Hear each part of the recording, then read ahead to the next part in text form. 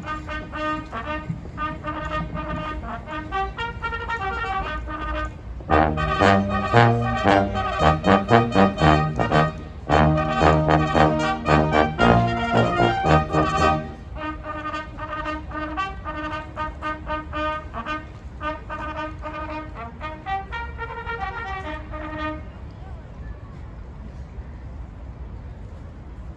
uh you. -huh.